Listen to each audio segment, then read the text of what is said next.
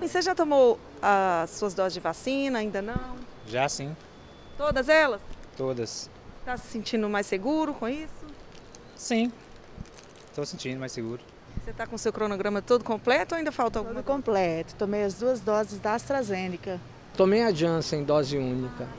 E ficou satisfeito? Está se sentindo mais seguro? Graças a Deus, me sentindo mais seguro. Estou até trabalhando. A gente faz um trabalho missionário na rua e graças a Deus pela vacina, né? Você está com o seu cronograma vacinal todo completo ou ainda falta Todo completo. Os as duas doses já tomei já, todo completo. É, encontrar pessoas com as duas doses da vacina contra a Covid está ficando cada vez mais comum. Em Governador Valadares, aos poucos, a vacinação continua, mas nem a metade dos moradores foi totalmente imunizada. A cidade recebeu a primeira remessa de vacinas no dia 19 de janeiro deste ano. E até a última sexta-feira, 70% da população recebeu a primeira dose. E apenas 48% estava com a vacinação completa. Dados da Secretaria Municipal de Saúde apontam que no último dia 14, das 23 pessoas que estavam internadas no Hospital Municipal com Covid, apenas 14 estavam com a vacinação em dia. O restante não havia tomado a primeira dose ou não estava com a vacinação completa. Os dados apontam ainda que 34% das pessoas internadas com Covid em Valadares não se vacinaram com a primeira dose ou falta a segunda. Tem um quantitativo significativo de pessoas que estão sendo internadas que não completaram seu, a sua imunização. Então, é por isso que a gente precisa ficar atenta.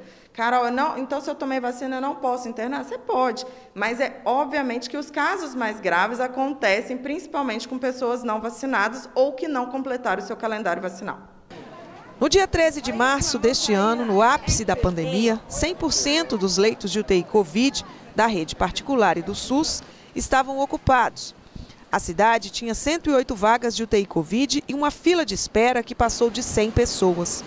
Atualmente, são 43 UTIs Covid no SUS e 16 nos hospitais particulares.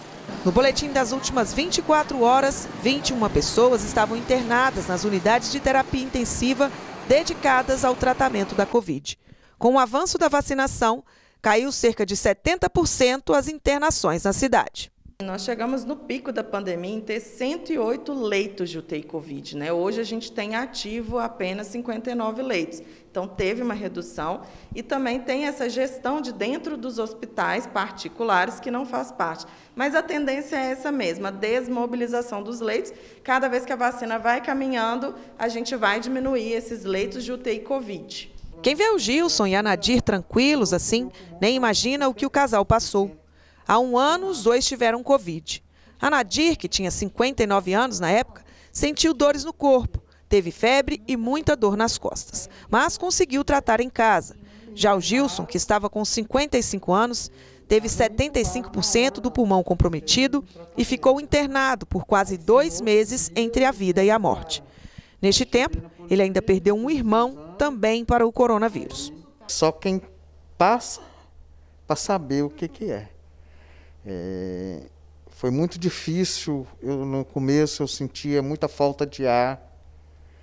E quando eu fui para o hospital, para a policlínica, e chegando lá, constataram que o meu pulmão já estava 75% tomado.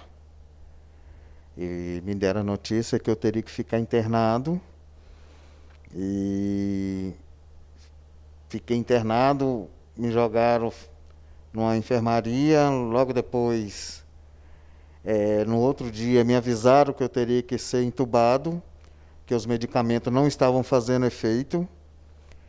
E onde me entubaram, eu fui para UTI, fiquei 34 dias entubado, é, sem saber de nada o que, que acontecia. Após 58 dias internado, Gilson teve alta e foi recebido com muita emoção.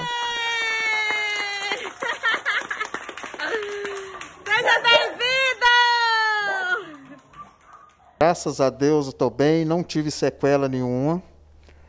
Logo após é, eu fiz os exames pós-Covid, né, para saber como é que estava o pulmão. Pulmão funcionando normal, coração funcionando normal. Nenhuma sequela. Graças a Deus estou bem demais. Ainda muito debilitado, ele fez as sessões de fisioterapia em casa.